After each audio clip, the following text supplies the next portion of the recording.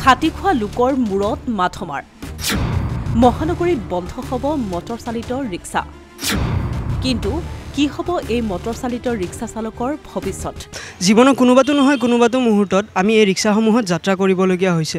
কেতিয়াবা ভাবি চাইছেনে আমাৰ এই ওজনৰ সৈতে ৰিক্সা চালকসকলে আন কি কি কঢ়িয়াই নিবলগীয়া হৈছে? কাৰোবাৰ যদি পৰিয়ালত ৰোগীয়া পিতৃ মাতৃ কাৰোবাৰ সন্তানৰ শিক্ষা এই সকলোৰে গধুৰ দায়িত্ব তেওঁলোকে নিজৰ কান্ধত লৈ চলাই ফুৰিবলগীয়া হৈছে এখন ৰিক্সা। এই ৰিক্সা চালকসকলৰ প্ৰতি চৰকাৰে কোনোবা দিনা সহমৰ্মিতা প্ৰকাশ কৰিবনে? বিছ ত্ৰিছ টকাৰ বিনিময়ত যাত্ৰীসকলক গন্তব্যস্থানলৈ পেডেল মাৰি কঢ়িয়াই নিয়ে এই ৰিক্সা চালকসকলে। প্ৰয়োজনত একাধিক যাত্ৰীও কঢ়িয়াব লগা হয় চালকসকলে। কিন্তু কেৱল জানো যাত্ৰীসকলৰ ওজনেই সৰ্বোচ্চ চালককেইজনৰ বাবে। ইয়াৰ উপৰিও প্ৰত্যেকজন চালকৰ ওপৰত ন্যস্ত আশা ভৰসা দায়িত্বৰ গধুৰ বোজাটো কঢ়িয়াই নিয়া হয় প্ৰত্যেকটো যাত্ৰাতেই। তেনে সময়তেই পৰিৱৰ্তনৰ যুগত ৰিক্সা চালকসকললৈ আহিছিল সকাহ। পেডেল মৰাৰ বিপৰীতে মটৰ চালিত ৰিক্সাত কঢ়িয়াই নিব পৰা যাব যাত্ৰীসকলক। প্ৰায় চল্লিছৰ পৰা সাতাশী হাজাৰ টকাত উপলব্ধ এই ৰিক্সাসমূহে পূৰ্বৰ বেগতকৈ কিছু খৰকৈ গতি কৰাৰ বাবে দৈনিক যাত্ৰী কঢ়িয়াই নিয়া সংখ্যাও বৃদ্ধি পালে ৰিক্সা চালকসকলৰ। যাৰ বাবে ধন ধাৰলৈ লৈ হ'লেও ৰিক্সা চালকসকলে ক্ৰয় কৰিলে এই ৰিক্সা। এইটো ৰিক্সা ইয়াৰ ইয়াৰ আগতে পাও ৰিক্সা চলাইছিলোঁ। পাও ৰিক্সা চলাওঁতে খুব কষ্ট হয়। আমি দুখীয়া মানুহ মানে বয়কালৰ মানুহ পাও ৰিক্সা চলাওঁতে খুব কষ্ট হয়। তাৰ কাৰণে কিবা কিবা কৰি ঘৰৰ পৰা মানে ইণ্টাৰেষ্টৰ পইচা লৈছোঁ লৈ কিনি গাড়ীটো লৈছোঁ। কিন্তু সমগ্ৰ ঘটনাৰ দৃশ্যপট সলনি হ'বলৈ প্ৰয়োজন নহ'ল দীৰ্ঘদিনৰ।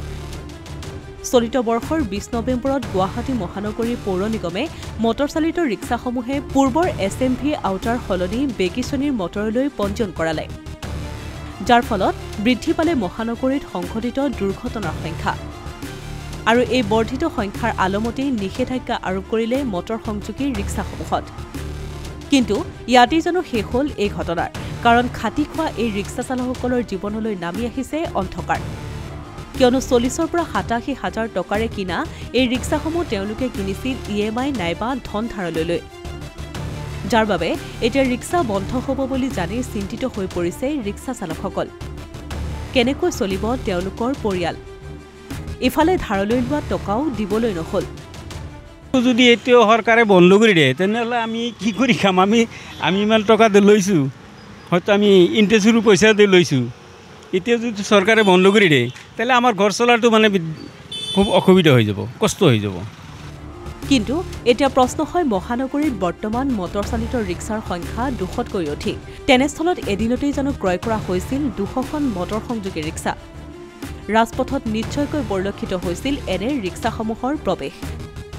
ইয়াক ৰোধ কৰিবলৈ প্ৰশাসনে পূৰ্বতেই কিয় নললে কোনো সিদ্ধান্ত?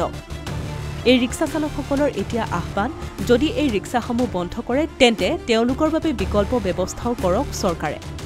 ধৰক আপোনাৰ গাড়ীও যেনেকৈ এক্সিডেণ্ট হয় মাজে মাজে দুই এটা ৰিক্সাও এনেকৈ এক্সিডেণ্ট হয় নহয় বুলি নকওঁ আমি। তো চৰকাৰক আমি অনুৰোধ জনাইছোঁ যাতে ৰিক্সাখন আমাৰ বন্ধ নকৰে আৰু বন্ধ কৰিলে আমাৰ বহুত অসুবিধা হৈ যাব। এইখিনি আমাৰ আবি- খুব অসুবিধা হৈ যাব। বহুত কষ্ট হৈ যাব আমাৰ তাৰমানে যেতিয়া এতিয়া মই বৃদ্ধ বয়স এতিয়া মই পাও ৰিক্সা চলাব নোৱাৰোঁ হাজিৰা কৰিব নোৱাৰোঁ কি কৰি খাম? ঘৰত খেতি মাটি নাই নদী ভাঙি লৈ গৈছে।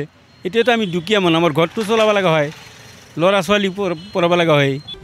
উল্লেখযোগ্য যে এখন ৰিক্সাৰ বাবদ গড়ে পঞ্চাছ হাজাৰ টকা বুলি ধৰিলেও প্ৰায় এক কোটি টকাৰ ব্যৱসায় কৰিলে ৰিক্সাসমূহ বিক্ৰী কৰা প্ৰতিষ্ঠানসমূহে। আৰু অনুজ্ঞাপত্ৰৰ অবিহনেই বিক্ৰী কৰি থকা হৈছে এই মটৰ চালিত ৰিক্সাসমূহ। এতিয়া প্ৰশ্ন হয় এই প্ৰতিষ্ঠানসমূহৰ ওপৰত অনুজ্ঞাপত্ৰ নথকা বাহন বিক্ৰী কৰাৰ ক্ষেত্ৰত লোৱা হ'বনে কোনো সিদ্ধান্ত? Asomiya Pratidin digital desk